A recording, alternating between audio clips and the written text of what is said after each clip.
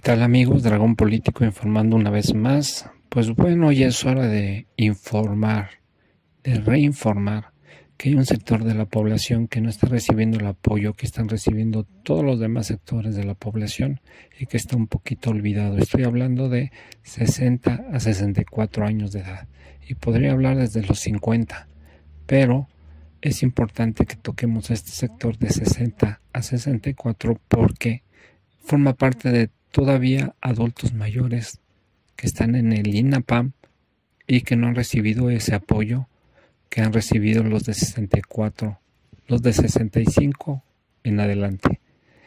Además, también está todo ese sector de esa edad en el IMSS y en el ISTE que son los que menos tienen porque son los que se jubilaron y pensionaron desde los 60 años y que en estos momentos pues tienen pensiones raquíticas, como todo el mundo sabe. Así es que aquí les dejo esta información eh, que ya es antigua, pero pues que recuerda una, una plática entre Vaquita Política y Dragón Político sobre eh, esta ayuda que se necesita y que ojalá y Andrés Manuel López Obrador, antes de que se vaya, la haga realidad.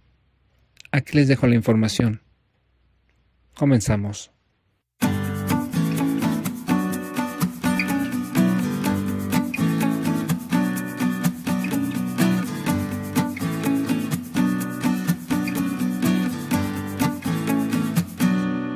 Entonces, ¿qué estoy pensando? Que este se siga aumentando el salario mínimo y al mismo tiempo un incremento a las pensiones, poco a poco.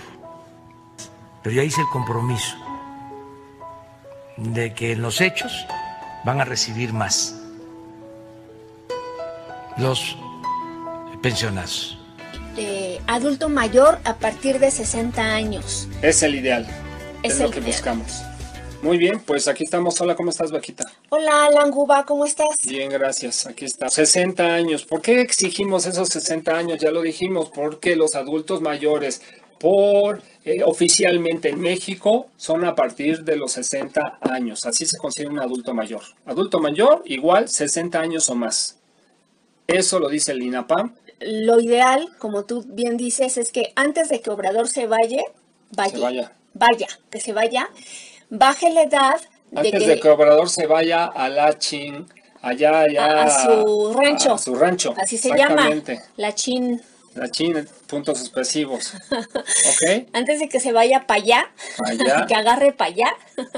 Entonces, este, que baje 68 y más a 60 y más. Yo creo que sí se puede, no hay tantos adultos No, en ese, en en ese rango. Digo, no sé, tendríamos que estudiar las estadísticas. Ahorita lo que sabemos es que el padrón es de 15 millones.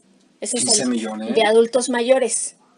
Ah, pero de, de 60 y más. O No, de, de los de... Ah, sí, sí son todos los adultos mayores. yo creo que sí, porque Sí, yo sabía los que mayores. de los puros adultos mayores sin pensión, no, con todo y los pensionados son 8 millones, ¿eh? Con todo y los Te voy a decir pensionados, porque sí. son los que se pagan 8 millones y un millón de discapacidad. Sí, se pagan 8 millones de pensiones universales. Sí. un millón de discapacidad, efectivamente. Ajá, pero el total, el mundo total de adulto mayor sí son 15 millones, que son los que más están vacunando ahorita. Son los que siempre dice AMLO Ya. que tienen que quedar cubiertos a más tardar abril. Yo creo que AMLO está consciente de que un adulto mayor es de 60 y más, pero por cuestiones económicas es que casi tendrían que doblar el presupuesto para poder cubrir a toda esa gente. Pero vámoslo haciendo poco a poquito. ¿Qué te parece? Que cada dos años o que cada año, sería lo ideal, te bajaran un añito. De 68 a 67, de No, eso es- 67 estaría de a lujo. 66 y que se hiciera esa como constancia para que el gobierno siguiente continuara con esa hasta llegar a los 60 años, que es lo justo. es que estarías hablando a lo mejor co- como un periodo como de unos, pues de 8 años prácticamente para bajar a los 60 Fantástico. y este y que ya todos los adultos mayores tengan su pensión. completamente. Yo estoy, yo voy por eso. Como lo dice el presidente, como en los países, este, ¿cómo le llaman? Este, bajos, los Países Bajos o, no, los países nórdicos, de Europa. Exactamente.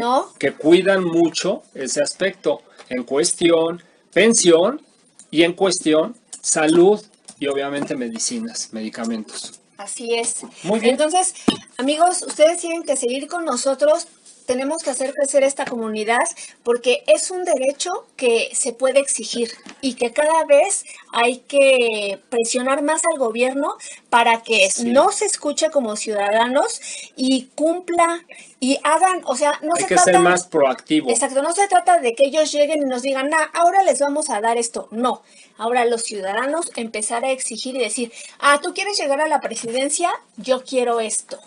Y los que tenemos ahorita el poder de convocatoria de mm, poca, mucha o muchísima gente, estoy hablando youtuberos, tenemos que empezar no solo a dar las noticias que están pasando, sino ya empezar a exigir que se haga justicia y que se empiecen a, como ahorita lo estoy haciendo yo, yo estoy comenzando ahorita esto de los 60 años y más. Ojalá esto se haga una bola que crezca y crezca y que los gobiernos no puedan parar no puedan evadirla y que la cumplan y que la hagan, porque es lo justo. Y ustedes amigos estarán de acuerdo. Estoy seguro que están de acuerdo conmigo en un 90%. ¿Ok?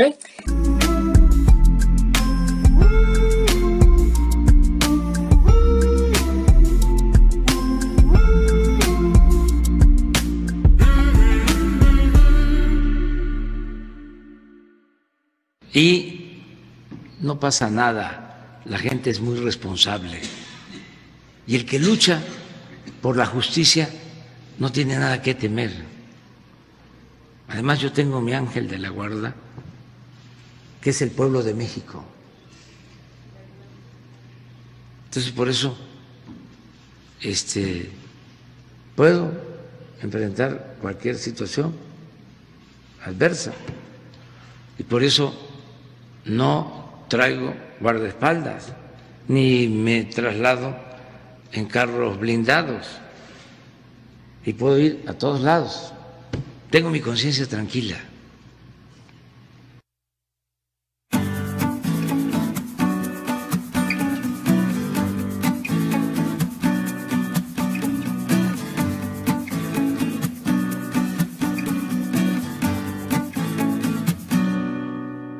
También hay muchísimos ciudadanos que sin tener el oficio del periodismo están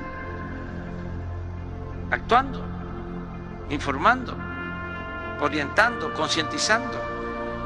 Por eso te digo que son miles. Un día voy a poner la lista, cuando menos de 100